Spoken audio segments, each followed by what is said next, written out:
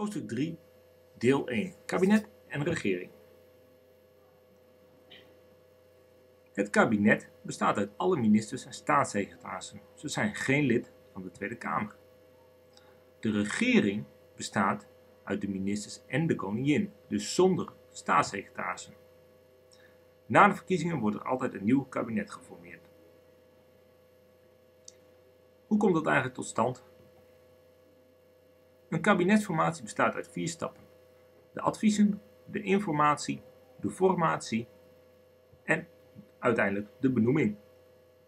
Het doel van een kabinetsformatie is dat enkele partijen gaan samenwerken die het eens zijn over het beleid en een meerderheid hebben in de Tweede Kamer. Maar nog voor de eerste stap zijn er natuurlijk verkiezingen een stap die natuurlijk niet verwaarloosd mag worden in een democratie. De uitslag van verkiezingen is heel belangrijk bij de formatie, omdat de grootste partij meestal het voortouw mag nemen. Dit is de uitslag van de laatste verkiezingen zoals we die gehad hebben in 2010, waarbij de VVD de grootste partij is. De kiesdeler. Hoe bepaal je nu eigenlijk hoeveel stemmen je nodig bent voor één stoeltje in de Tweede Kamer. Dan moet je eerst kijken naar hoeveel mensen hebben gestemd. Dat was in 2010 waren dat 9.442.977 mensen. Betekent dat driekwart van alle Nederlanders die mogen stemmen ook gestemd hebben voor de Tweede Kamer. Hiermee kun je dan de kiesdelen bepalen.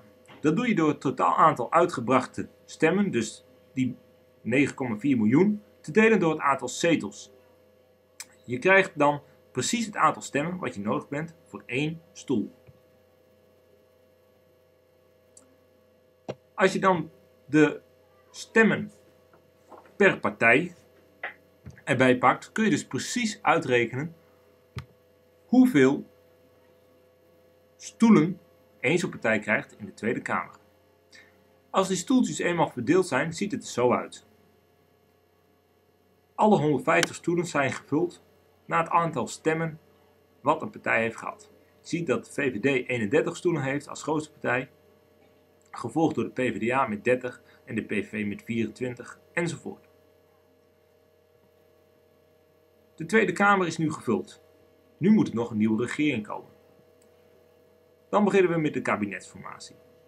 Op de dag na de verkiezingen begint de raadpleging bij de koningin door de fractieleiders. Zij geven een advies over welke partijen, volgens hun, nu moeten gaan samenwerken om een nieuw kabinet te vormen.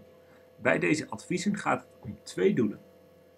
De partijen moeten het in grote lijn eens zijn over het beleid en ze moeten een meerderheid hebben in de Tweede Kamer. Maar sinds het kabinet Rutte 1 weten we dat dat niet per se nodig is. Stap 2 is de informatie. Het woord zegt het al. Er moet informatie verzameld worden. De koningin die benoemt een informateur. Het is meestal iemand die ruime ervaring heeft in de politiek.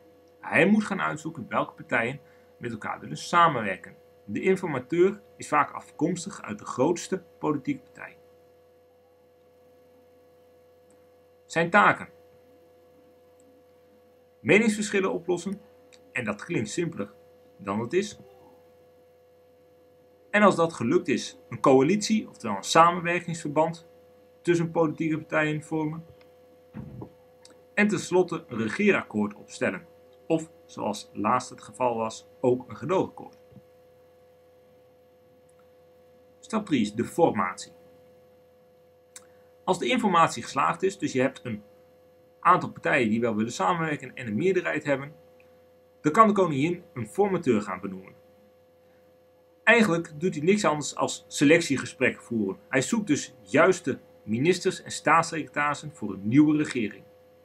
Aangezien de formateur zelf de baantjes mag verdelen, geeft hij zichzelf vaak het mooiste baantje en dat is minister-president. De formateur is dan bijna ook altijd de toekomstige minister-president.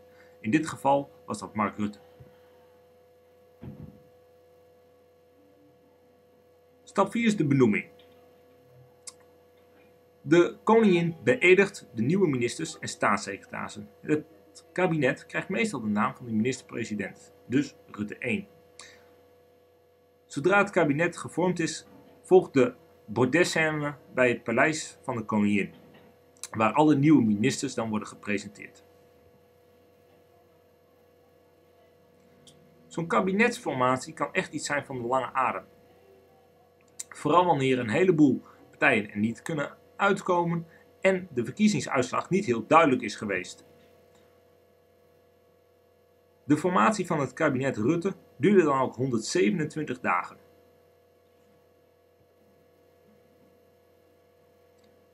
Regering en parlement. Het nieuwe kabinet vormt dus het dagelijks bestuur van ons land. Zij worden gecontroleerd door het parlement.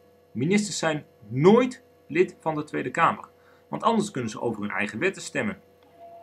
Het parlement bestaat uit de Eerste en Tweede Kamer. Hun belangrijkste taken zijn bespreken van en stemmen over wetsvoorstellen en het controleren van het kabinet. Hier over de taken van de Eerste en Tweede Kamer later meer in volgende hoofdstukken.